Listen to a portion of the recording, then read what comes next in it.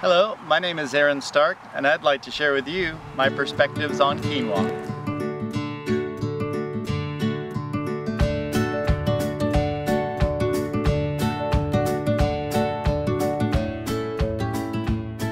So I was introduced to quinoa in the early 90s as a budding chef but it really didn't take hold. My love affair for quinoa didn't take hold until I uh, entered a sous chef position at a Novo Peruvian restaurant in Portland called Andina. Um, in that, uh, shortly thereafter, I became executive chef of Andina, and we won the Oregonians Restaurant of the Year. Uh, I learned so much about quinoa, about how it was cooked traditionally, uh, new methods and uses of quinoa.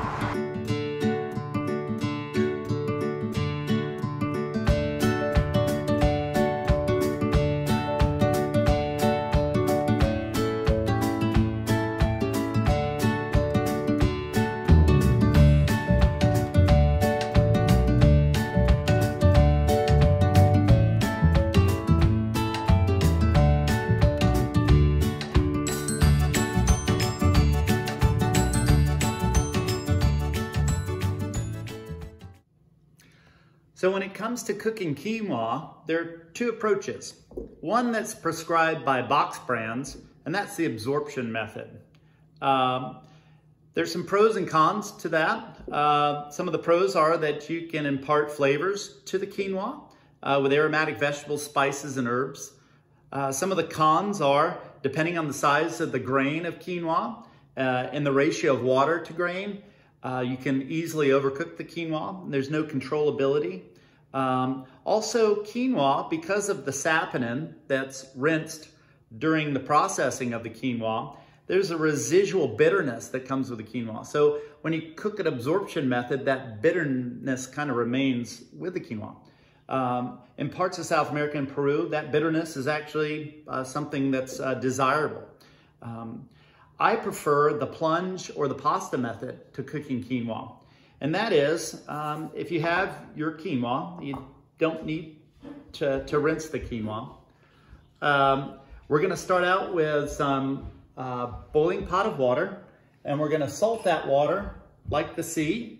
Through cooking uh, quinoa, the plunge or pasta method, you can control the firmness uh, of the quinoa uh, through al dente. You put a piece of quinoa through your two front teeth, and just see where it is.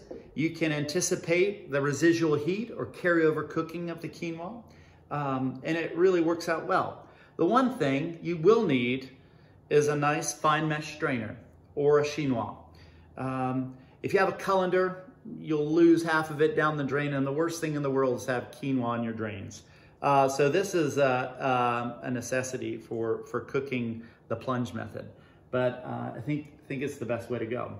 So what we're gonna do is just add our, um, I've got a 200 grams of quinoa here and I'm just gonna add that to my salted boiling water. So here we are.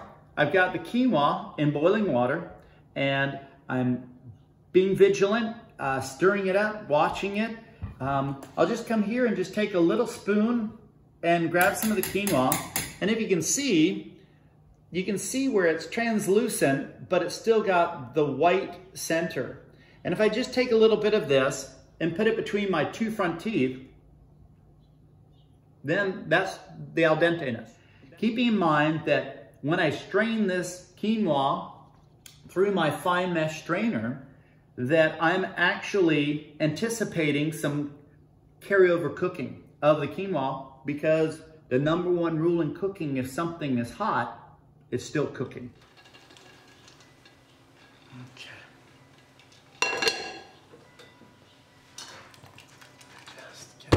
Like that. And what I'll do is I'll just bring a baking sheet over, get as much of that liquid out as possible.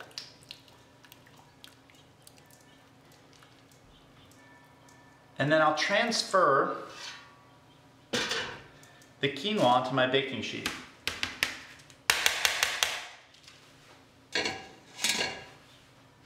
And then I'll just flatten it out so it can cool naturally. So the idea of running tap water over quinoa, I could certainly do that if I really needed to arrest the cooking process of the quinoa. But in this case, I've taken in consideration that the residual heat in the quinoa is going to carry over cook it perfectly. And if I just leave it out on the counter, in a matter of minutes, it'll cool down so I can really start working with it.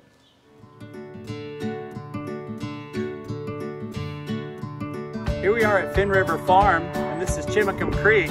My inspiration for my recipe today is the fact that at Finnriver, you have a salmon creek that goes through.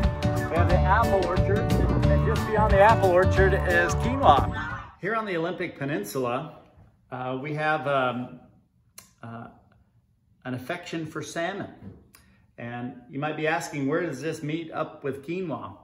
Well, in recent years, farmers have been trialing and growing quinoa, and it does particularly well here on the Olympic Peninsula. So today, I'm gonna do a dish. It's a summer apple and quinoa encrusted salmon. So let's do it, shall we? So here I've got the cooled down cooked quinoa. And what I'd like to do now is just to toast it up a bit, just to give my dish that I'm gonna prepare a little bit of flavor. So I'll just start by adding my cooled down cooked quinoa to a non-stick pan. And then turn that pan on over a low heat.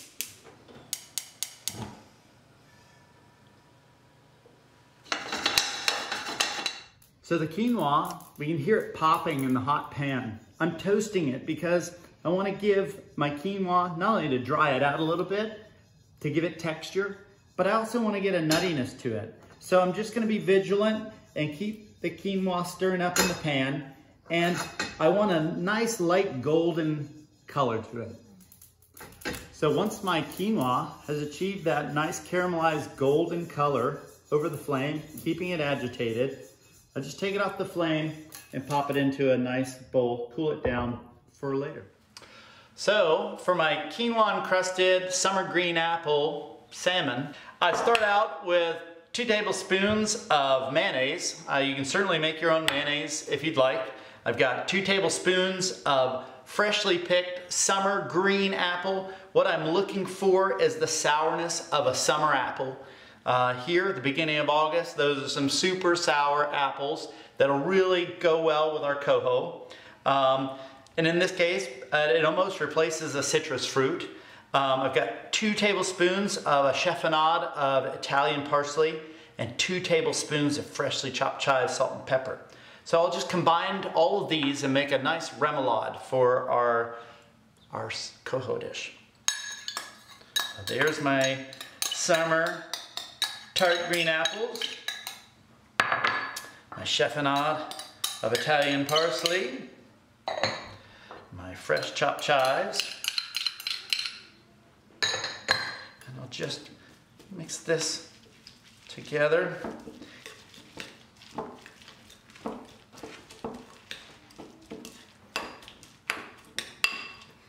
Hit it with a little plush, a little bit of kosher salt a little freshly ground black pepper.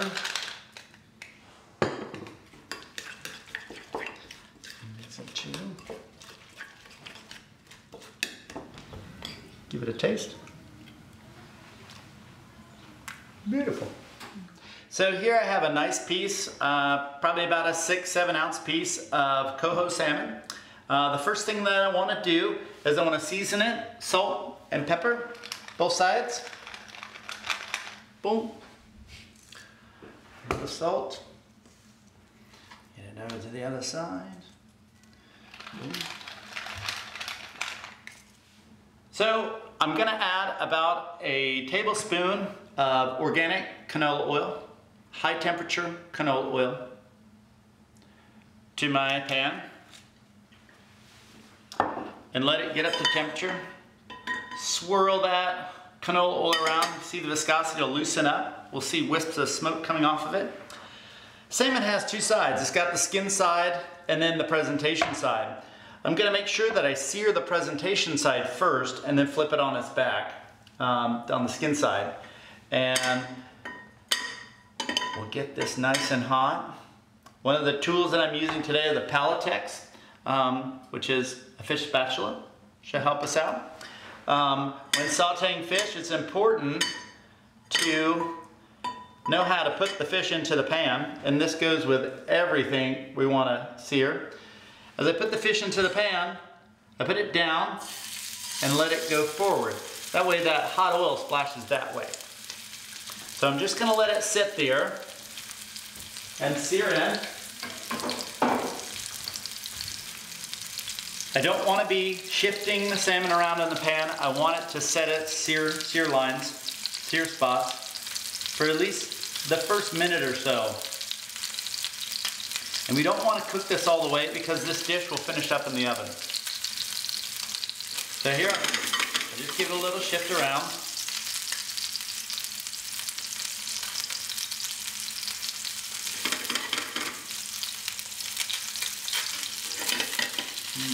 Look-see. Nice. Golden caramelization of that salmon. So get to the point where we feel confident, And just flip that salmon over. So now, to put our, our salmon dish together, um, I've got a nice piece of coho salmon that's been seared with salt and pepper.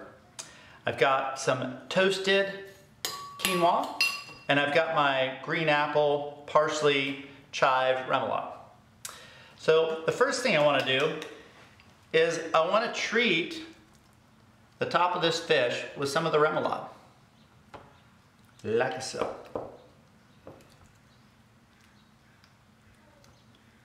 Boom, boom, boom.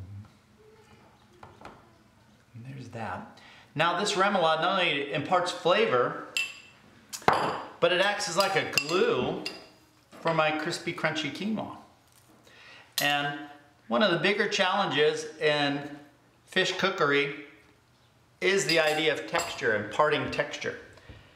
Quinoa is a beautiful item, nutritious item, to add texture to fish. So here we are.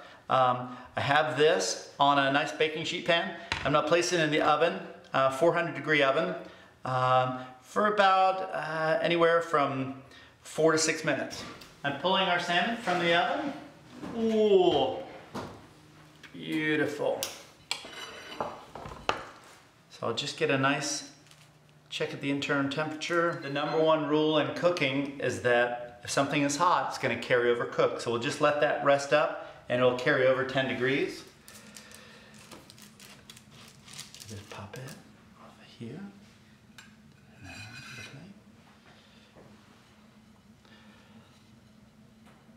Summer green apple and quinoa encrusted coho salmon. So now